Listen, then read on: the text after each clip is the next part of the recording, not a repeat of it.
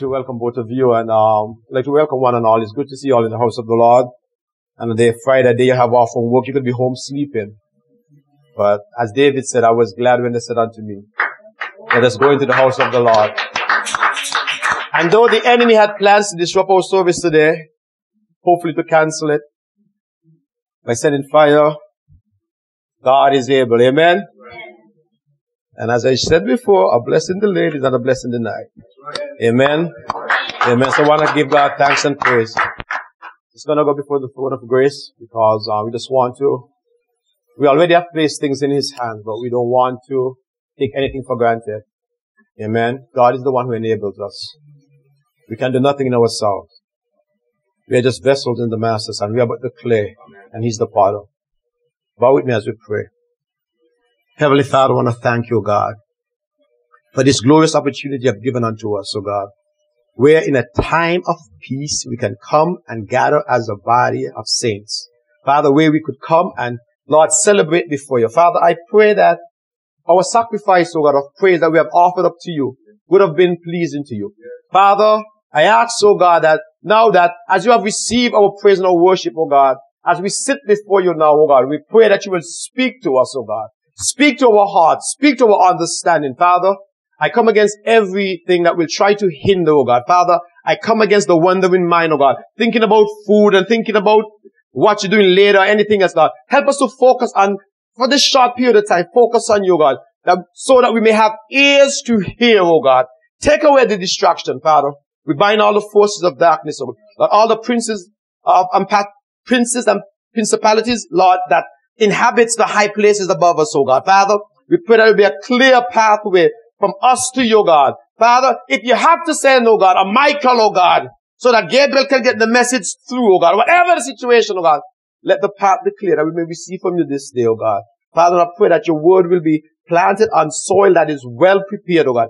Lord, break up our fallow ground, oh God. Let there be no stony, soily heart, oh God. Father, but our hearts will be, Lord, as springtime is, Lord, kept for, Lord, for the planting of the word. Father, I ask that you will just have control, continue to have control in all that we do, oh God. And Father, I pray that when we leave this place, we will not be the same, but we'll be drawn closer to you. We'll have a greater appreciation for what you did for us. In Jesus' name we pray. Amen. Amen. If you would turn with me in your Bibles to Isaiah chapter 53. Hallelujah. Glory to God. Isaiah chapter 53.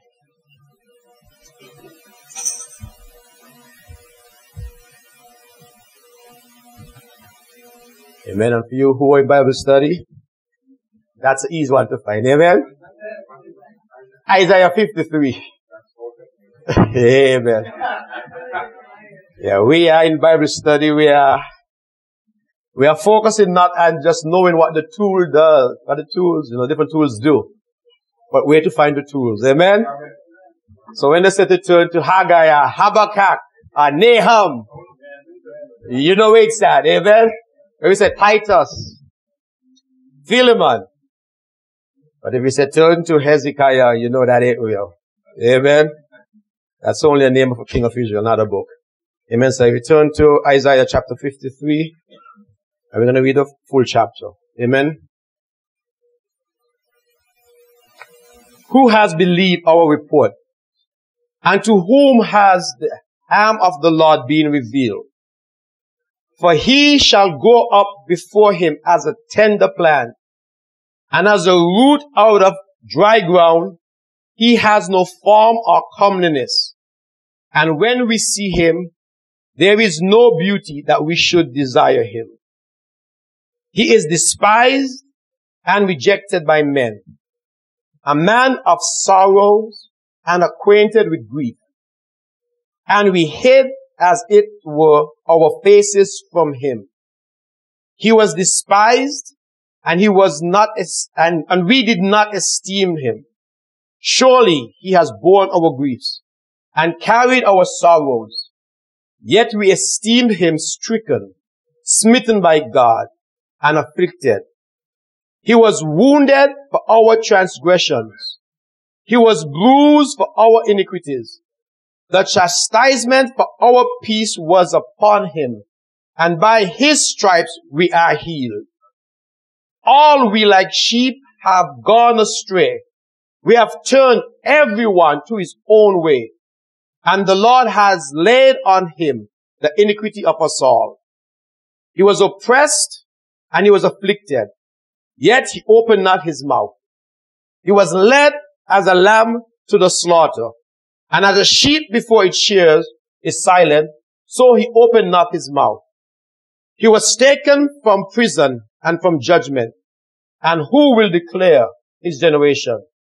For he was cut off from the land of the living. For the transgression of my people, he was stricken. And, and there made his grave with the wicked, but with the rich all at his death, because he had done no violence, nor was any deceit in his mouth. Yet it pleased the Lord to bruise him. He was put, he has put him to grief when he made his soul an offering for sin. He shall, he shall see his seed. He shall prolong his days and the pleasure of the Lord shall prosper in his hand. He shall see the labor of his soul and be satisfied. By his knowledge, my righteous servant shall justify many, for he shall bear their iniquities. Therefore, I will divide him a portion with the great, and he shall divide the spoil with the strong, because he poured out his soul unto death, and was numbered with the transgressors. And he bore the sins of many, and he made intercession for the transgressors. You may be seated. Hallelujah. We don't want to talk to you on the topic of the ultimate sacrifice. Amen. Amen. We are here today because of what Jesus Christ did for us back on Calvary. He didn't have to do it. God is complete in himself. God was not lonely. God does not need anybody to make him feel like God. God is God all in himself. But for some reason beyond our knowledge, in the ends of time, God decided to make mankind after his likeness and his image. Amen? And he created this world as we know it today. The heavens and the earth. He created and he gave it to man to have dominion over it. In it he placed Adam and Eve, a perfect union. Amen? Giving them dominion over all his creation. Said, this is your sphere. This is your kingdom. You have reign. You have rulership over it. And God would come down and fellowship with them in the cool of the day. Amen. God made only one stipulation, one law, one rule. He said, rule and have dominion. Eat what you may. But this one tree, thou shalt not eat of. For in the day that you do so, you shall surely die. And we know the serpent the enemy come in the form of a serpent, deceived Eve, and likewise Adam followed. And there came a falling. Therefore, thereby, death came. The word of God came to pass. Now they didn't physically fall over dead. But death was never in the picture of God's creation. It was never intended that man should die. Amen? But they will live forever in this paradise called Eden. Amen? But after man's sin, we were separated. And because of it, we have many curses. And as time go by, things get progressively worse and worse and worse. And we see God at many times coming in and I guess you could say did a reboot. We saw in the days of Noah how the Bible said intent and the action, the thoughts, and the, the, the, the action of men was desperately wicked. Every thought was evil. Evil. There was no consideration for the Creator. So God came, He brought in the flood. We saw Noah just eight people being saved. When the Bible says, wide is the way that leads to destruction, and many there are, and few that are on the straight and narrow way. See the comparison. Eight compared to all humanity that was alive at that time. That's why we have to contend with all we have to make sure that we are one of those few. Because it's not the masses that are going to make it in. But anyhow, to go on. Even before the creation of the world, because God is all knowing, He had already made provision for our redemption. Amen? Because man in themselves could not redeem themselves. Amen? But God had to allow man to see that in ourselves we couldn't do it. So what he did, he gave us laws and regulation. He gave us the Ten Commandments. He gave us the covenant that was handed down through the children of Israel as he made a promise through Abraham. And we know the story. And they could not keep the commandments of the Lord. Amen? So God said, I will make a new covenant. Not like the old covenant. But I will give them a new heart. I will take away their stony heart and give them a heart of flesh. But this was not possible with man in his present state. God could not give man a heart of flesh, a heart that is responsive to his spirit. The Holy Ghost could not have come and indwell us while we are living in trespasses and sin. Even though our intentions may be good, we did not have in ourselves what it took to live pleasing to God. So God promised us a new covenant. And it started to take place when Jesus Christ came on the scene. And he walked the streets of Galilee. He walked the streets of Jerusalem. And he, he manifests himself as being the Son of God, yet the Son of Man. The mystery of God. Some people get confused because we try to understand God. You cannot understand God. That's why the Bible said the just shall live by faith. It's not based on understanding. Because to understand God, we'll have to be out of this world. We do not have the capacity to understand the mystery of God. When we see the Father, the Son, and the Holy Spirit, we are saying, how could three be one? How could Jesus Christ be in God and put off his divinity, all his, all, all his authority? When I say put it off, not he still was God. But he came and be, became a part of his creation. Imagine you making a model structure of a, a town or a city. And then you go and now become part of that model that you made. He became part of his creation. He took off his divine nature, so to speak. And he became, he put on the robe of flesh. He came as a child of Abraham. And he walked the face of the earth. And he did many things to show to us that he indeed was the son of God. There was no need to doubt him because he did what had never been done before. By his very works, he proved that he was the son of God. Amen. And when he said he was the son of God, and they said they were ready to stone him because he saying that he's the son of God, he made himself equal to God.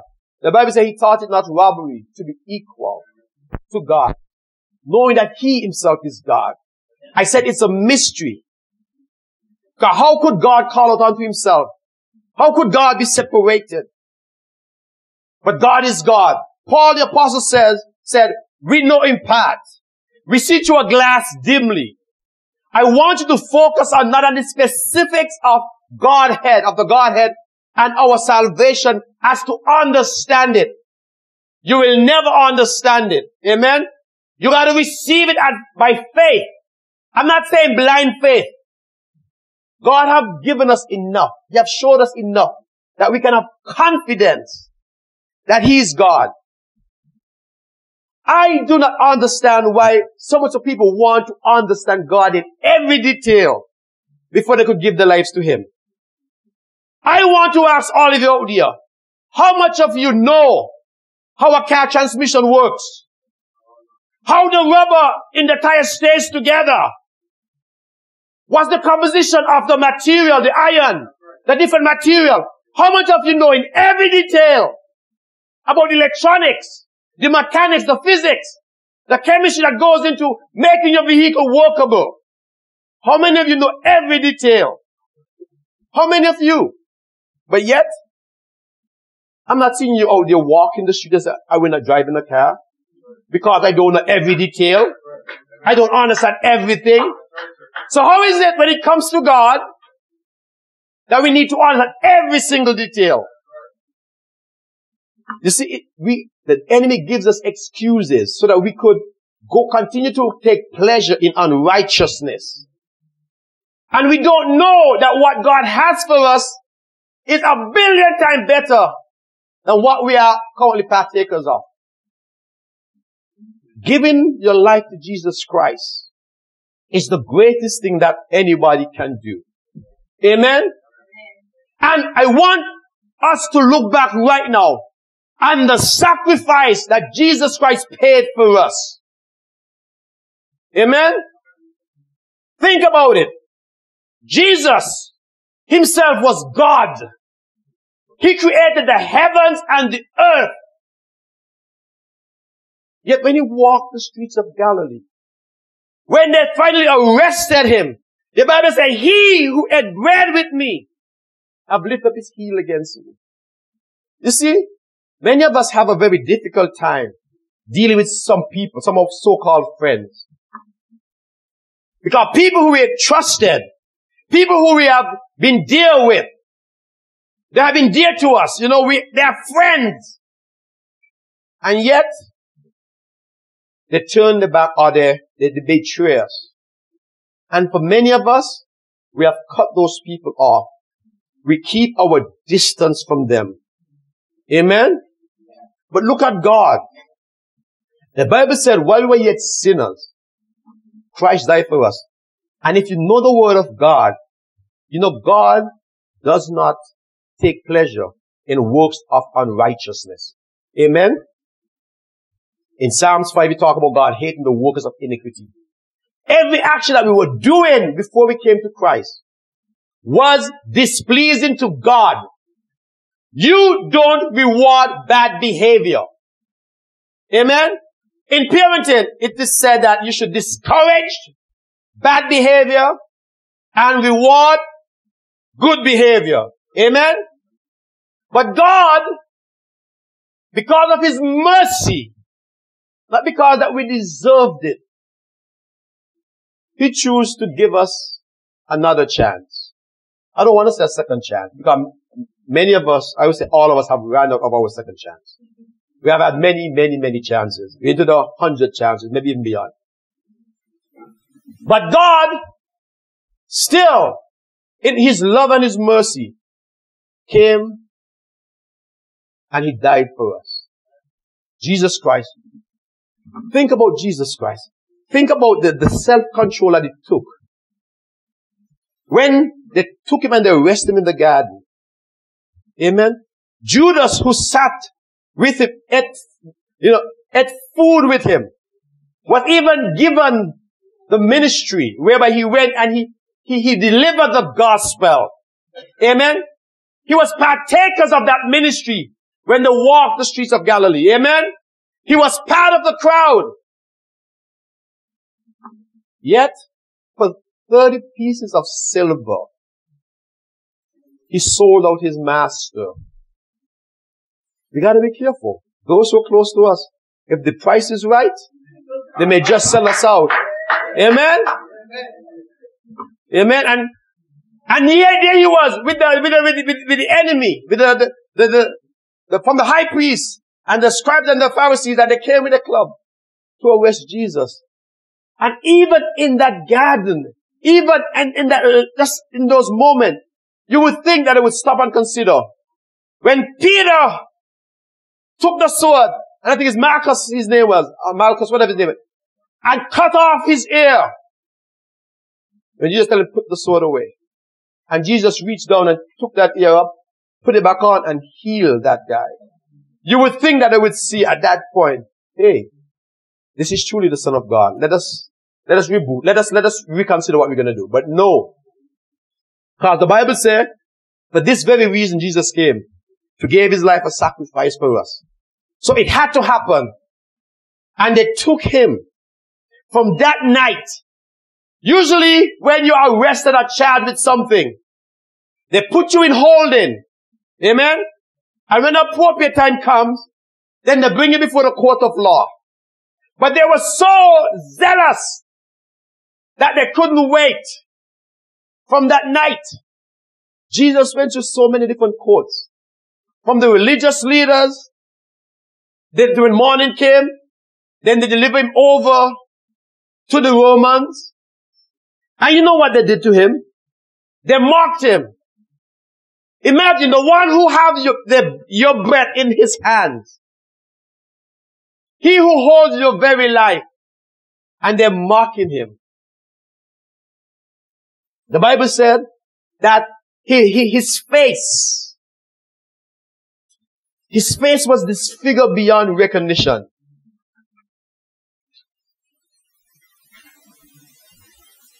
Isaiah 52 and 14 reads, Just as many were astonished at you, so his visions his, his, was mad more than any man, and his form more than the Son of Man. The Amplified Bible says, For many, for many the servant of God became an object of horror.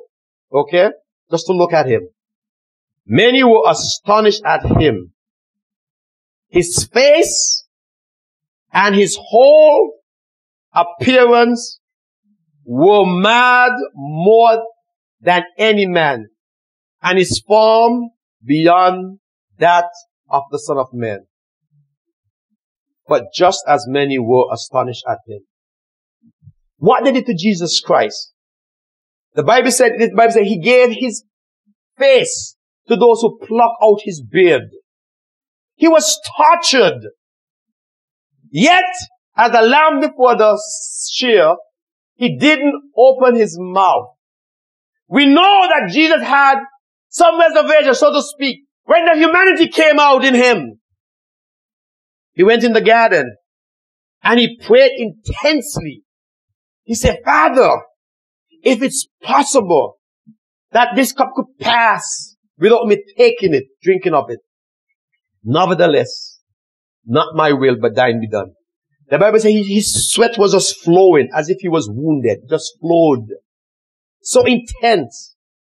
He was in such a place of desperation that he, he, he, he said to the disciples, pray with me. And when he came back, his three main disciples, they found him sleeping. He said, are you sleeping? He said, indeed, the spirit is willing, but the flesh is weak. But so intense was his prayer. But then in that garden, he made up his mind. For this reason I came and I'm going to go all the way. Amen. Jesus went and after the priests mocked him, they, they, they, they blindfolded him, they slapped him, they spat in his face. And they said, you're the son of God. Who slapped you? Who hit you? And they were making fun of Jesus. And can you imagine? This is the Christ, the creator of the, of humanity. And here these idiots hitting him and mocking him and don't know what he could do to them. When Peter was willing, was about, when wanted to fight, he said, I could ask my father send a legion of angels. If you read back, back in the Old Testament, when the Assyrians were coming up against Israel, I think it was in the days of Hezekiah the king, and, and Isaiah the prophet, and when the king of Assyria was saying, oh, who is Hezekiah putting his confidence in? Is he putting in, in the Lord? Don't you know what my father and myself have done to all the nations of the world? Were any able to withstand me? And they brought the letter to Isaiah, to the king, and the king brought to Isaiah. And God said, he will not even shoot one arrow in this place. God sent one, one single angel and totally annihilated the army of Assyria, that the king returned home shamefaced, and then his son, two of his sons raised up and killed him. One angel wiped out a whole army. And Jesus, I could ask my father, said, a legion of angels. That would be enough to wipe out the whole earth. But Jesus said, but the scripture must be fulfilled. So Jesus was resolved that he is going to go all the way. And regardless to what they did to him, he was not going to turn back. So great was his suffering. Imagine, you know, it's nice to, when you do certain things and you do it well, you are presented with a crown. Amen? Imagine a crown of thorns being placed on your head and being pressed down, piercing your skull. Blood is coming down.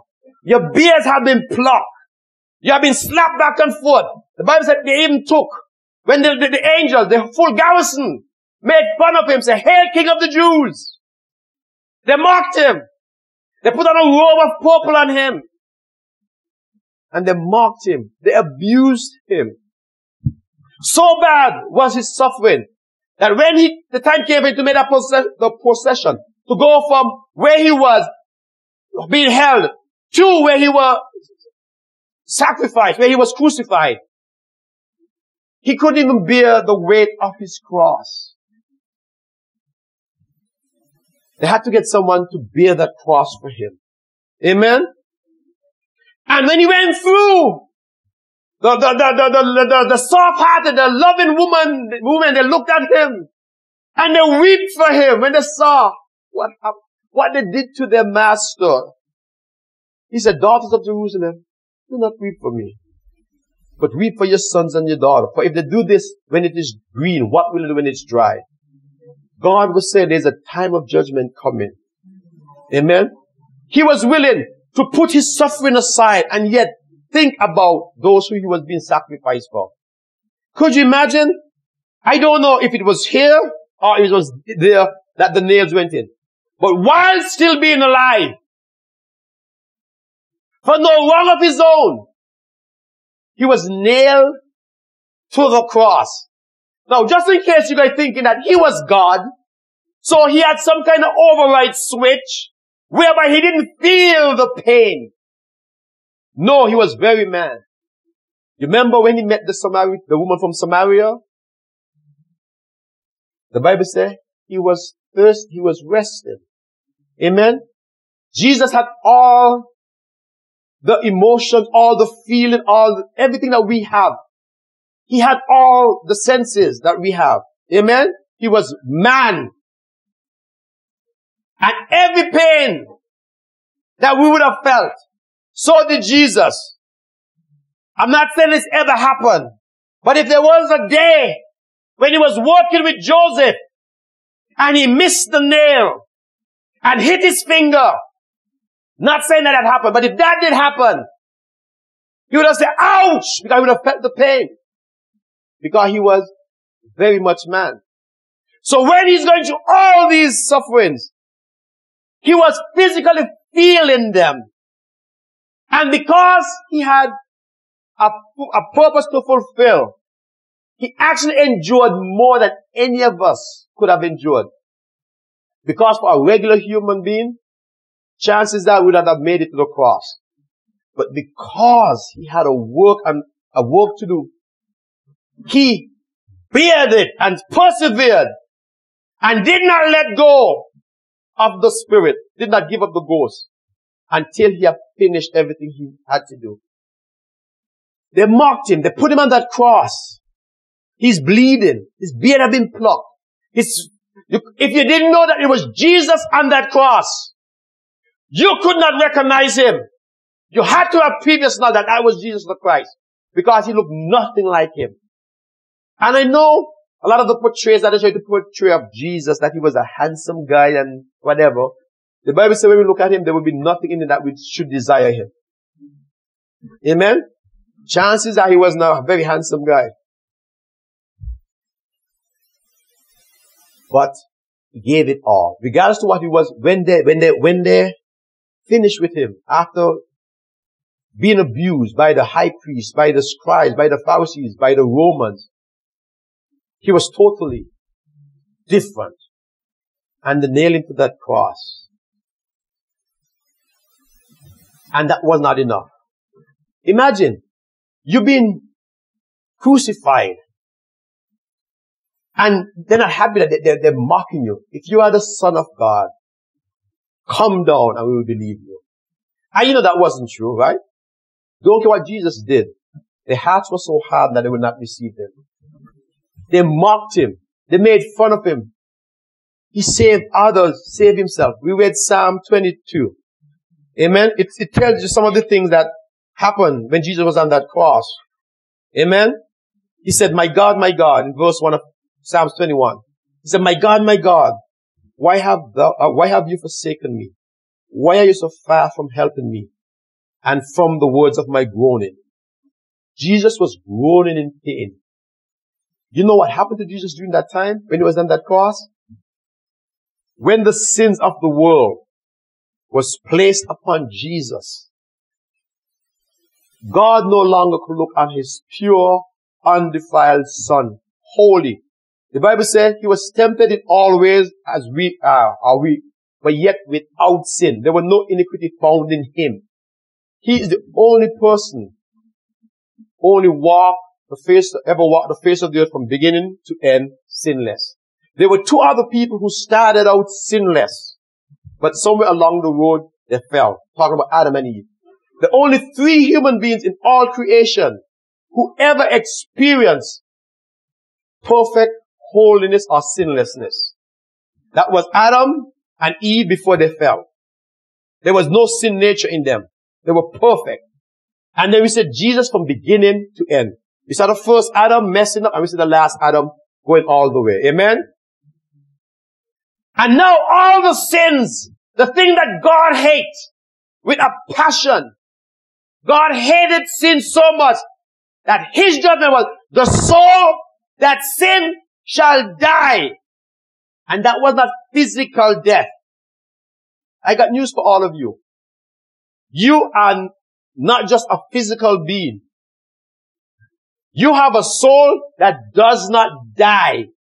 When God created mankind, He created us as eternal beings.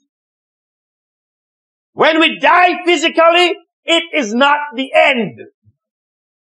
We live on for all eternity. The difference will be, where will it be? With Him or away from Him? In His perfect peace or in His perfect torment? We are going to live forever one way or the other. We all will have to give an account. And God hates sin with a passion.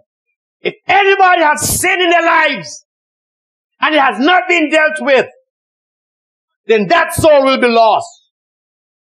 And there's only one way to deal with the sin situation, the sin factor. And that's the blood of Jesus Christ. There is no other way. The blood of bulls and goats and rams could not do it. That was a temporary covering. This thing is so major that even those who have faith in God and believed in God and was pleasing to God and lived a life that was pleasing to Him, when they died before Christ went to the cross, God could not even allow them into His presence. They had to go into a holding place. That is no longer there. Not purgatory. It was called Abraham's bosom or paradise. Amen? That was the holding place where the saints of God went before Christ shed his blood. Because the blood was not yet applied and to the altar in heaven and God did not say, I am pleased with it. So sin was not dealt with fully as yet. So that when it's holding place. That's how great God despised sin. That even though we live the life that is pleasing to Him, until the sin factor is dealt with totally, they couldn't even come into His presence. They couldn't go into glory. Amen? But when Christ died, the Bible said He went into hell. And He led captivity captive. He went and he preached the gospel to those who had died before, that they may be judged according to man in the flesh. Amen? And to just God is so good, so that there will be no doubt in our mind that this actually took place. The Bible says after Christ was resurrected, that many of the patriots were seen walking the streets of Jerusalem because Jesus had taken the keys of hell, death, and the grave. And he had let those souls go because now his blood had, was shed. And now they could go into the presence of the Lord. Now when we die, there is no holding place. Amen? To be absent from the body is to be present with the Lord. The Bible said there's a cloud of witnesses who are looking down at us. All those who died in Christ right now, they're looking from the heavenly portals and looking down at us and saying, yes, it is worth it. You can make it. Do not let go. Hold on. Persevere. It's worth it. Amen. And Christ had this in view. He knew we didn't deserve it. He hated sin. Yet, he gave his life a sacrifice. He laid himself down for us. And when the Father saw in the past the blood of the goat and the sheep and the lamb and everything else, he said, this is enough for me to cover you. This is enough so I could hide the sin. But when Jesus came, he said, the Bible said, the Son of Man was manifested. That, that, not that he will cover or suppress, but that he may destroy the works of the devil. The blood of Jesus Christ brings remission of sin. You know what that means? When you go into remission, when there's remission, there's a totally removal of. Yes, we are, we were sinners. We said, all are sin and fall short of the glory of God. There's none righteous, no, not one. But when Christ came on the scene and he offered up his blood, when he suffered for us, bear the mocking, the scorn and everything, don't care what they did to him. Don't care how terrible, how horrific it was. He bared it, even the shame of the cross. The Bible says, curses anyone who die on the cross, who hangs on a tree. He had the lowest of deaths, but he did not budge. Because when he was on that cross, he was thinking about you and me and all humanity. He said, I am the only way that they can make it in. And it doesn't matter what price I have to pay. I will pay it. Don't you how they mock me, how they tempt me, how they make fun of me. I will persevere. Even though I do not like them for their bad behavior. But because of the hope that they will have in me, because of what I can do and make of them. You see, God is not interested in us because of who we are. He's interested in us because of who He can make us. Amen? He can take a mad vessel and He could take it into His potter's house and He could make it as a vessel of honor. Only vessels of honor are going to make it in. And only Christ could make vessels of honor. It doesn't matter the form or the deformity of the clay. He is able to make you into a vessel that is pleasing to Him. Amen. So with all this before Him, in His mind, He said, it doesn't matter what I'm go, what I'm going to go through.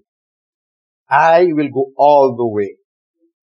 Because I have a love that supersedes my hate. Amen. Because he said, I'm going to give them an opportunity to come from under the banner of my wrath unto the banner of my love. Amen. And this was accomplished on the cross of Calvary. When Christ died on that cross, I don't only want to look at it as such a horrific scene that he suffered so much. You know, there's some people, they despise the Roman, they despise the Jews for killing their Savior. But this was predetermined. Amen. Christ was offered up before the foundation of the world. Amen. There's many prophecies that speaks about Jesus Christ coming. Where he was going to be born, the time he was going to be born, things that he would do, that not one of his bones will be broken. Amen. That he will be born of a virgin. That they will pluck his beard. All these things. Psalms 22 was not written after the Gospels. It was written before. Amen. These are prophetic utterances They panted his garment, casting lots, and all these things. God knew what would happen. Amen. And he foretold so that when it happened, we may believe. And I don't want to just look at him as a man suffering and say, oh, what a pity. He was God, yet man. And he, he took on the sins of this world. And he died. And the Bible said, just that, you mean God was instructing Moses when he took, when he was on the mountain? He said, make sure you make everything according to the similitude, according to the pattern that you see. Make it in this same pattern. The, the, the, the, the temple, the, the, the, the, the, the, the, the, everything that Moses did, it was an image of the heavenly. So Jesus went and offered himself, his blood on that altar. Remember when Aaron would sprinkle the blood? Remember all those thousands of animals? Remember how much sacrifice it took just to dedicate the temple? And then after dedicate the temple, they have to dedicate the priests, and then have to dedicate the, the, the, vessels and everything. It was a lot of blood. But the Bible said all that blood could not have done a perfect job. It took the blood of Jesus Christ. And when Jesus went and offered his blood on the altar in heaven, the Father was well pleased. And guess what happened? He said, wait. Remember before Jesus was resurrected? He said, tarry and wait for the promise. You know what that promise was? The ushering in of the new covenant. Amen? Because up until that point, remember Jesus said, the Holy Spirit, the world, the, the world do not know Him because they don't, they don't know Him, they don't know Jesus and they don't know the Holy Spirit. But he said, the Holy Spirit right now He is with you, but then He shall be within you. You see, the Holy Spirit could not inhabit anybody because we were not pure. We were sinful. We had a heart of stone. And the Holy Ghost cannot dwell with sin. It meant that sin, you couldn't just cover the sin. You know if you have a sore and you just cover it over, you still have that sore? Even though you can't see it? There's some of you ladies with your makeup, you have some spots and everything, and you take whatever you do, you cover your face, and your face is nice and clear and smooth. But if somebody wants to come and wipe it off, there goes the spots again. But you see, with God, He was, the old covenant, it covered the spot. If you look at sin as spots. But the new covenant, the blood of Jesus Christ, it didn't cover the spot. It removed the spots. Amen. So now, the Holy Spirit, after the blood will apply to the saints' heart. Their hearts were now pure. The heart of stone became a heart of flesh. So now the Holy Spirit will come and inhabit. Amen. And no longer do we have to walk around following rules and regulations, but we look inwardly to the leading of the Holy Spirit. The letter kills, but the Spirit gives life. Amen. We are led now, not by our mental capacities, but we are led by the Spirit of God that lives in our heart. Amen. You know, in the Old Testament, they, they, they hid the, the, the, the, word of God in their heart that they may not sin against God. And they tried the best that they could. We also too have to hide this word in our heart, but we have more than they did. Because now we have the indwelling of the Holy Spirit who could bring everything back to our memory and not only bring back things from our memory, but he could also teach us new things, things we didn't know. Amen. So when Christ died on the cross, he made it possible for us as sinners to become pleasing to God. So yes, see the price that he paid. It was the ultimate price. And God will not take lightly anybody who trample on the foot the blood of his son be very careful what you do with Jesus Christ. Amen. It was not the blood of, the blood of bulls and goats and ram, but it was the very blood of Jesus Christ that was shed for us. Do not count the blood of Jesus Christ as a common thing. It is not. It has the power to change your life 100%. Don't be confused like Nicodemus thinking you got to go back into your mother's womb. But he has the power to change you 100%. You see, God does not look on the outside. The outside means nothing to God. When God says you become a new creature, a new creation, He's not saying that all of a sudden people not be able to recognize you. The inner man will become new. It starts from the heart to the outside. Amen? That blood has the power to give you a new beginning. The things you did before, you will do them no more. It's because of the finished work of Calvary. Amen? And that what God had done for us. He had given us the power to become holy. Peter said, in second Peter, he said, I mean, the second epistle of Peter, he said, God have given us all things that pertains unto godliness. He have given us His divine nature. When you do not know God, and when you walk in ignorance, you go and say, oh, you know, I have a sin nature, you know, sin is in me, I'm only a man. No. If any man is in Christ Jesus, he's a new creature. All things have passed away, behold, all things become new. God have given us of His divine nature. The blood of Jesus Christ have came into our heart and have changed that heart to a heart of flesh, a heart that is spiritually motivated. He have planted His seed in us.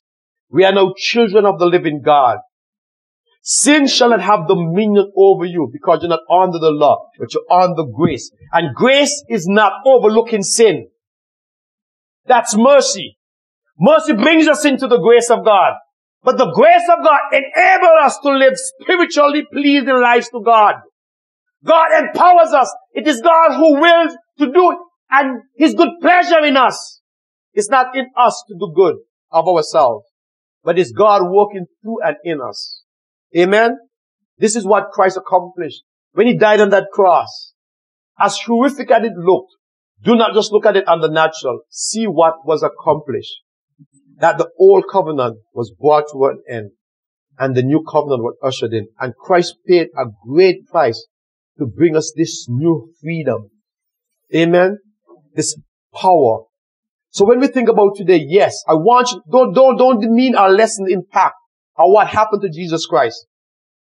Imagine being on trial from the evening to the morning back to the afternoon, being persecuted and being abused.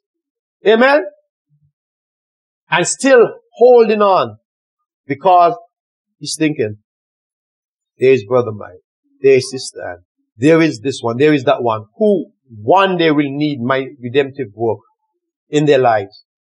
And because of that, he did not lose heart. Amen. And that is why he went all the way. Today I want us to look back at Calvary. It's a very sobering time. Because it's when the rubber met the road. You know the God is saying that when the going get tough, the tough get going, they actually run away. But Christ did not run away. He stayed put and he allowed the abuse because he was thinking about us. He took off glory and he came into the form of a man and he walked the streets. He lived a life, an example.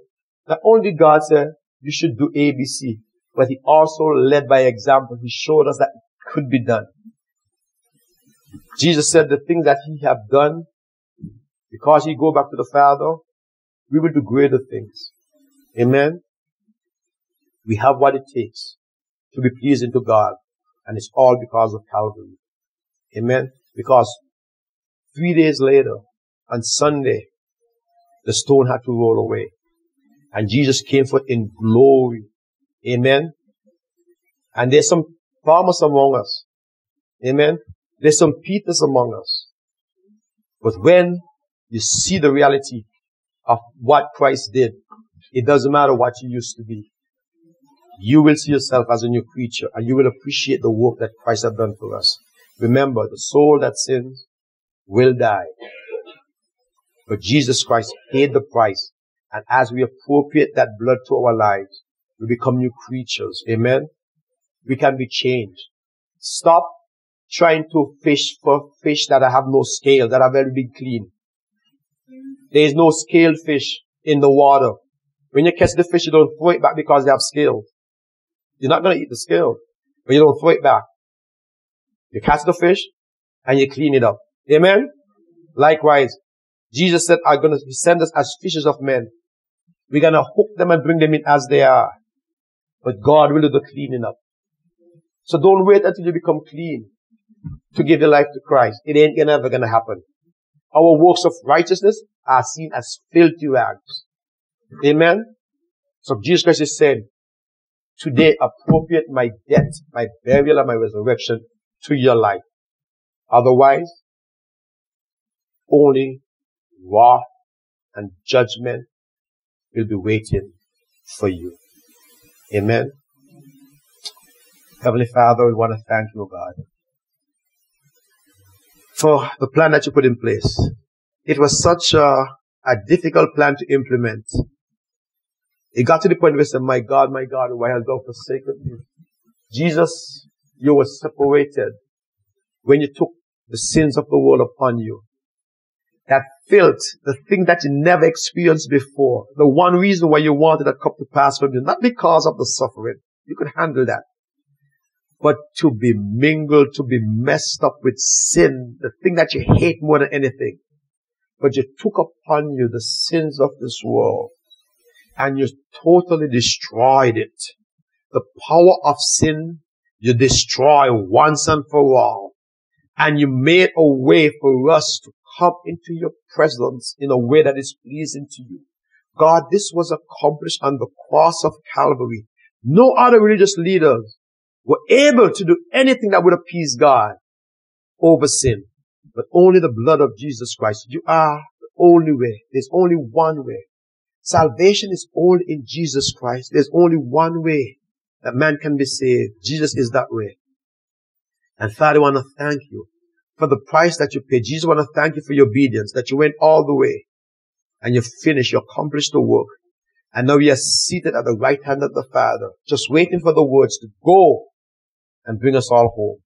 So Father, I thank you. I pray for the souls of those who are here today, God, those who know you, that we will, Lord, we commit our lives to you. That we will see the price that you, you, you, the sacrifice, the ultimate sacrifice that you made for us.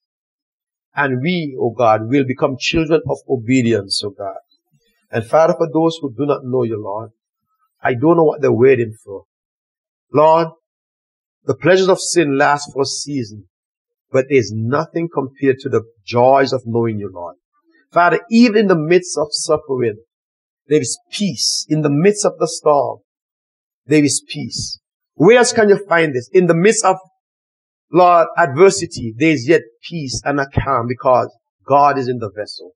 Father, so I pray, speak to their hearts, Lord. Father, it's not in them to save themselves. Lord, I pray that your Holy Spirit will even now start to pull at their heartstrings, oh God. Convict them, Lord. Open their understanding. Show us, oh God. Show them the, the necessity for you that is only by your grace and that your grace is sufficient. All their hang-ups, all their flaws, it doesn't matter. You will make them a new creature. The habits, the stronghold, you're able to destroy every one of them and make them vessels of honor, vessels of righteousness. So Father, I pray that you will help them to yield to you today. And Lord, for those who are serving you, help them to remain faithful to the end and to become that stepping stone and not a stumbling block. Father, for this, once again, we thank you for the cross of Calvary. We thank you for the finished work of Jesus Christ. And Father, we celebrate your death, your burial, and your resurrection. And we will do it until you come again. In Jesus' name we pray. Amen. Amen. I would like to give this opportunity is there anybody who, as we reflect and look back at what Jesus did on Calvary's cross, will like to appropriate his blood to your life? Is there anybody who are tired of the, the, the, going, doing the same thing over and over and over again? The definition of insanity is doing the same thing over and over and over and expecting a different outcome. It's not going to change. If you're tired of this life of sin, carrying this weight, it's a weight, it holds you back. It gives the enemy extra access into your life. The devil have you like a puppet, sway any which way he wants. Got your emotion up and down. Got you depressed and happy all over the place. But you can be stable in Christ Jesus. Jesus Christ could change the life. He could make you a new creature. Today is the day of salvation. Today, I'm pleading with you. Give your life to Jesus Christ. Our Minister of Finance, James Flaherty, Jim Flaherty, he didn't know that his day was coming, you know. One minute he was with us, and the other minute he wasn't. We don't know. No one knows what tomorrow holds. You may say, I'm trying to scare you. Yes, I am. Jude said some compassion made the difference. Some people come to Christ because of his love and others fear make the difference. I want you to be very fearful of God and what God can do to you if you reject him because there is no second chance. Tomorrow is not promised. Do not fail to deal with your spiritual death before your physical death overtake you. Because when physical death comes on the scene, it is over. That appointment with death, once it's here, there is no second chance. I can't pray out. Nobody can pray out. Remember the rich man. The minute he died, his torment started. So I'm pleading, today is the day of salvation. Is there anybody who would like to give their life to Jesus Christ today? Amen. I want to thank you all for coming out today. I don't want you to be too traditional or religious or whatever, but as we have reflected on what Jesus Christ did for us, I want you today think about what he did for us. Think about the price he paid and appropriate it to our lives. Let us live every day in the obedience of Jesus Christ. Let us not grieve the Holy Spirit. Let us not trample on the foot the blood of Jesus Christ. Let us become children of obedience. Amen. Stand with me, please. God's willing, we'll see you on Sunday. God's willing, there is a good possibility that we may not see some of you because you would have gone the way of the grave. It's a possibility. Tomorrow is not promised. God's willing, if life is spared and health is spared, God's willing, we see you all on Sunday, but God's willing. The Lord bless you and keep you. The Lord make his face to shine upon you and be gracious unto you. The Lord lift up his countenance upon you and give you peace. Have a blessed Good Friday. See you Sunday, God's willing.